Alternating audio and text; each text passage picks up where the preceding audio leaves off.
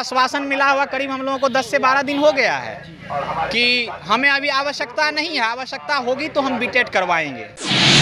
तो मैं आपसे सीधे सीधे सवाल पूछना चाहता हूँ कि आपको कब आवश्यकता महसूस होगी? जरा हम लोग को वो चीज़ लिखित में दे दीजिए प्रमाण पत्र शिक्षा विभाग में जो भी कचरा है, उसको हम लोग साफ़ करने के लिए तैयार हैं।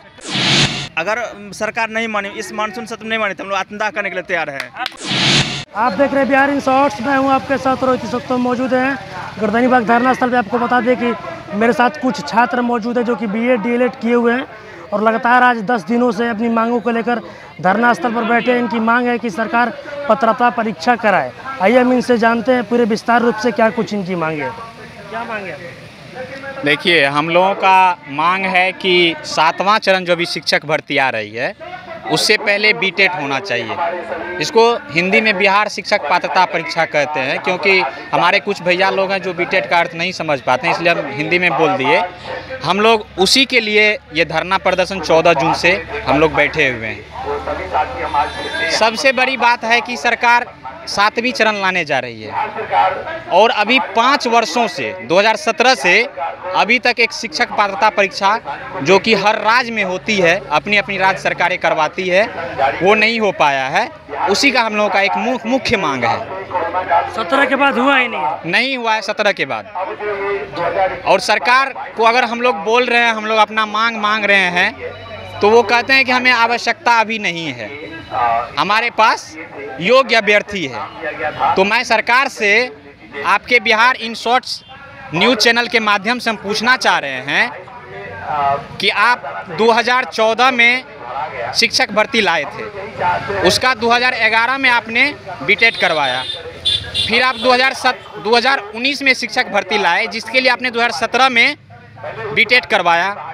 और आप फिर से 2022 में शिक्षक भर्ती लाने जा रहे हैं और वो भी बिना बिहार शिक्षक पात्रता परीक्षा कराए बगैर। ये कहाँ से उचित है, मैं सरकार से पूछना चाहता हूँ। दूसरी बात, अगर 2011 में बीटेट होती है, वो बच्चे बीटेट क्वालिफाई करते हैं और सरकार दूसरी तरफ़ कह रही है कि सीटेट साल में हर साल दो बार होती है। हम लोग मान लेते हैं कि सीटेट दो बार होती है और होती भी है। इसमें मानने की कोई बात नहीं है होती भी है। शिक्षा मंत्री साहब लोगों की कभी मुलाकात हुई इस विषय पे। इस विषय पे मुलाकात हुई बस वहीं आश्वासन मिला है कि हमें अभी आवश्यकता नहीं है। तो हम महोदय से वहीं पूछना कितना चाह टाइम हो हैं गया आश्वासन मिले ये आश्वासन मिला हुआ करीब हम लोगों को 10 से 12 दिन हो गया है कि हमें अभी आवश्यकता नहीं है। आवश्यकता होगी तो हम बीटेट करवाएँगे। तो इसीलिए हम उसी पे ये सवाल पूछना चाह रहे हैं उनसे कि आपको आवश्यकता कब महसूस होगी? आपके बच्चे रो रहे हैं, दूध के लिए कि हमें दूध चाहिए दूध चाहिए, और आप आँखों के सामने देख रहे हैं और आपको आवश्यकता महसूस नहीं हो रही है तो मैं आपसे सीधे सीधे सवाल पूछना चाहता हूँ कि आपको कब आवश्यकता महसूस होगी? जरा हम लोग को वो चीज़ लिखित में दे दीजिए प्रमाण पत्र कि हमें इस टाइम आवश्यकता होगी, इस टाइम हम आपका बिहार बिहार शिक्षक पात्रता परीक्षा करवाएँगे और इस समय आपको नियोजित नियोजन करवाएँगे। ठीक है ना? तो हम तो दूसरा टॉपिक पे बोल रहे थे कि 11 से 11 में शिक्षक पात्रता परीक्षा करवाई, उसके बाद 14 में नियोजन लाई। 11 से 14 तक देखे तो मान लीजिए तीन साल का गैपिंग हुआ और तीन साल में छः बार सीटेट हुआ और एक बार बीटेट हुआ। यानी सात बार सीटेट और बीटेट मिला करके हुआ। जो बच्चे 14 में सम्मिलित हुए जो बच्चे 14 के नियोजन में सम्मिलित हुए, उसमें कुछ कुछ सीटें खाली चली गई, कुछ बच्चे छूट गए। फिर सीटें तो लगातार होती आई है, साल में दो बार।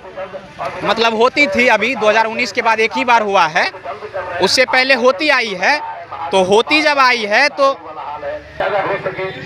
तो हम शॉर्ट में ये चीज़ बोल रहे हैं कि मतलब जो 14 में हुआ, फिर 17 में हुआ फिर 19 तक में 19 में आप नियोजन लाए 19 तक में जितने सीटेट बीटेट थे वो तो भाग ले लिए वो तो शिक्षक बन गए और फिर भी पचास हज़ार सीट खाली रह गया। कब तक ऐसे बैठिएगा? शिक्षा मंत्री आश्वासन जब दे जब- कि ज़रूरत पड़ेगा तो बुलाएँगे। जब तो तक हम लोगों का मांग मान नहीं लिया जाएगा जब तक हम लोगों को लिखित रूप में दे दिया नहीं जाएगा कि हम बीटेट करवाएँगे सेवन चरण से पहले, तब तक हम लोग यहीं चाहे जो हो, शहीद होना पड़ेगा, बाद में शहीद हो जाएँगे। ऐसे ही बेरोजगार मर रहे हैं। तो शहीद होने में क्या जाता है? शहीद हो जाएँगे। लेकिन बीटेट का मांग यहाँ से लेके रहेंगे और हम ये रिक्वेस्ट करते हैं, जितने भी पक्ष और विपक्ष के जो भी नेता हैं, जिनको हम लोग चुन करके सदन में भेजने का काम किए हैं, उनसे हम आग्रह करते हैं कि आप लोग कल मानसून सत्र में कल से आप लोग हिस्सा ले रहे हैं। और हम लोग आपको आशा आशातीत होते हुए ही आपको जिताते हैं। तो आप लोग हम लोगों का मांग वहाँ रखें। क्या हम लोगों का मांग है? उचित मांग है या नहीं है? और उचित मांग तो हम लोगों का हंड्रेड परसेंट है ही। आप लोग भी जानते हैं। सब जानता है इनको। सरकार भी जानती है, लेकिन नज़रअंदाज कर रही है। तो नज़रअंदाज करे तो उसको तो पता चल जाएगा कि एकता क्या होता है और छात्र क्या होता है। तक मांगे पूरी नहीं होगी, मर जाइएगा, लेकिन हाँ शहीद हो जाएँगे। हम बोल दिए शहीद हो जाएँगे। बेरोजगारी में ऐसे ही मर रहे हैं। चलिए आप बतलाइए जी। कब जी। तक ये आंदोलन चलेगा?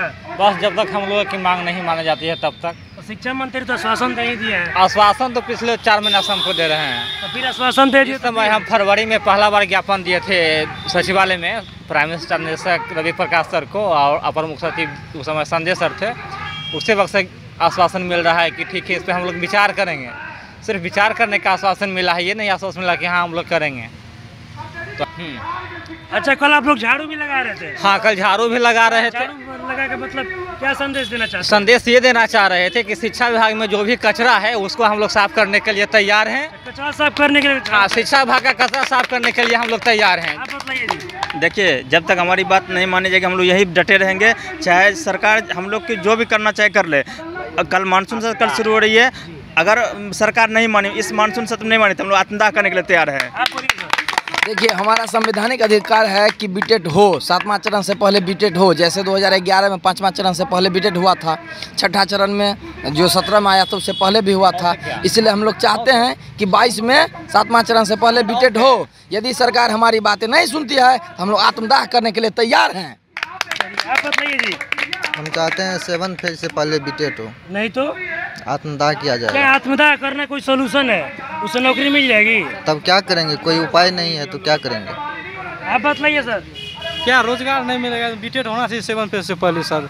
चलिए, तभी आपने सुना ये B Ed D El Ed की अभ्यर्थी हैं, जो कि अपनी मांगों को लेकर दस दिनों से आज ये लोग धरना स्थल पर बैठे हैं। इनका साफ़ तौर पर कहना है कि शिक्षा मंत्री ने जो हम लोगों को आश्वासन दिए हैं, वो जब तक लिखित रूप से नहीं देंगे, हम लोग का लगातार इसी तरह संघर्ष जारी रहेगा। उनके और इनका साफ़ तौर पर कहना है कि जब तक हम लोगों की मांगे मानी नहीं जाएगी, हम लोग शहीद हो जाएँगे, आत्मदाह कर लेंगे, लेकिन अपनी मांगों के लिए तब तक हम लोग धरना स्थल पर बैठेंगे और लड़ते रहेंगे। ऐसे इन तमाम खबरों के साथ मेरे साथ जुड़े रहें, तब तक के लिए धन्यवाद।